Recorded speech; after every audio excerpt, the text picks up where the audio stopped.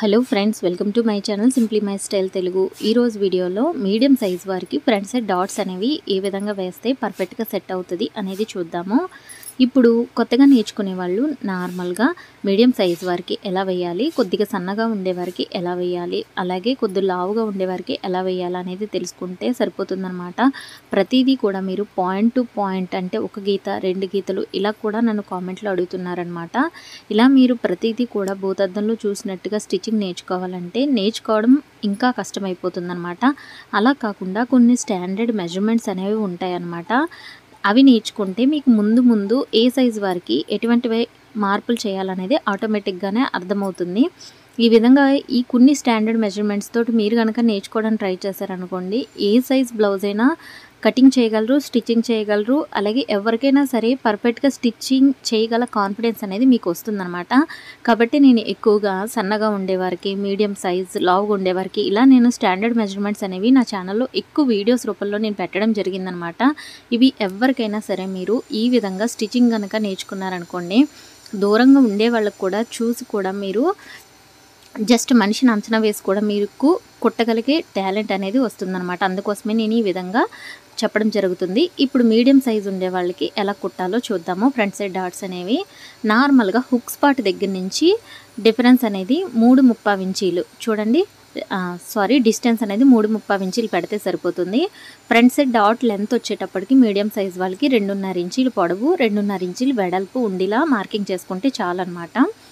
చూడండి రెండున్నర ఇంచీలు ఫ్రంట్ సైడ్ డాట్ అనేది పెట్టాను. అలాగే వెడల్పు కూడా రెండున్నర ఇంచీలు. అంటే ఇటువైపు ఒకటి ఇంచ్ అటువైపు ఒకటి ఇంచ్ వచ్చేలాగా మార్కింగ్ చేసుకోండి. ఫ్రంట్ సైడ్ మెయిన్ డాట్ అనేది మనం మార్కింగ్ చేసేసినట్టేనమాట ఈ విధంగా మార్కింగ్ చేసుకుంటే.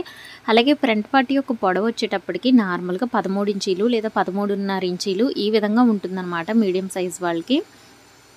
ఇక్కడ మెయిన్ డాట్ అనేది మీరు కరెక్ట్గా వేశారనుకోండి ఆల్మోస్ట్ ఫ్రంట్ పార్ట్ అనేది సెట్ అయిపోతుంది అనమాట అలాగే సైడ్ డాట్ వచ్చేటప్పటికి దీనికి పెద్ద డిఫరెన్స్ ఏముండదు. ఒక రెండున్నర ఇంచులు పొడవు ఉండేలాగా ఒక హాఫ్ ఇంచ్ వెడల్పు అంటే పావించి పావించి వెడల్పులో వేస్తే సైడ్ డాట్ అనేది సరిపోతుందనమాట అలాగే మెయిన్ డాట్కి సైడ్ డాట్కి మధ్య గ్యాప్ వచ్చేటప్పటికి ఒకటిన్నర ఇంచు ఉంటుంది. అలాగే మెయిన్ డాట్కి చంక దగ్గర డాట్కి మధ్య గ్యాప్ కూడా ఒకటిన్నర ఇంచు ఉండేలా పెట్టుకుంటే మీడియం సైజ్ వాళ్ళకి పర్ఫెక్ట్గా ఫ్రంట్ సైడ్ డాట్స్ అనేవి వచ్చేస్తాయి అనమాట ఇది చాలా సింపుల్గా మీకు అర్థమవుతుందని ఈ వేలో అయితే నేను ఎక్స్ప్లెనేషన్ చేశానండి. దీనికోసం మీరు ఎక్కువగా గుర్తుపెట్టుకోవాల్సిన అవసరం కూడా లేదనమాట. ఒకవేళ కొత్త వాళ్ళైతే అయితే నోట్ చేసుకోండి. ఈ పాయింట్స్ అనేవి నోట్ చేసుకోండి. మెయిన్ డాట్ ఎంత పెట్టాను పొడవ ఎంత పెట్టాను వెడల్పు ఎంత పెట్టాను సైడ్ డాట్ ఎంత పెట్టానని. మీడియం సైజ్ అనేటప్పటికి మళ్ళీ మీకు డౌట్ వస్తుంది ఏ సైజ్ అని. కొద్దిగా లావు కాకుండా సన్నగా కాకుండా ఉండే వాళ్ళకి ఈ మెజర్మెంట్స్ అని పెట్టచ్చు అనమాట అంటే మరి సైజుల ప్రకారంగా చూడాలంటే chest size thirty four thirty six ఈ విధంగా ఉండే వాళ్ళకి మీడియం సైజ్ అనేది పెట్టచ్చు అనమాట కొన్ని కొన్ని సందర్భాల్లో థర్టీ ఎయిట్ థర్టీ టూ కూడా ఇలా మారుతూ ఉంటుంది అనమాట ఒక్కొక్కసారి అందరికీ ఒకలా వచ్చినట్టు ఉంటుంది. బట్ చిన్న చిన్న చేంజెస్ అనేవి మీరు ఇన్డెప్త్గా అంటే బేసిక్ నుంచి కొద్దిగా నేర్చుకోవడం ఎప్పుడైతే ఎక్కువగా మొదలు పెడతారో అప్పుడు ఆ పాయింట్స్ అనేవి మీకు అర్థమవుతూ ఉంటాయి.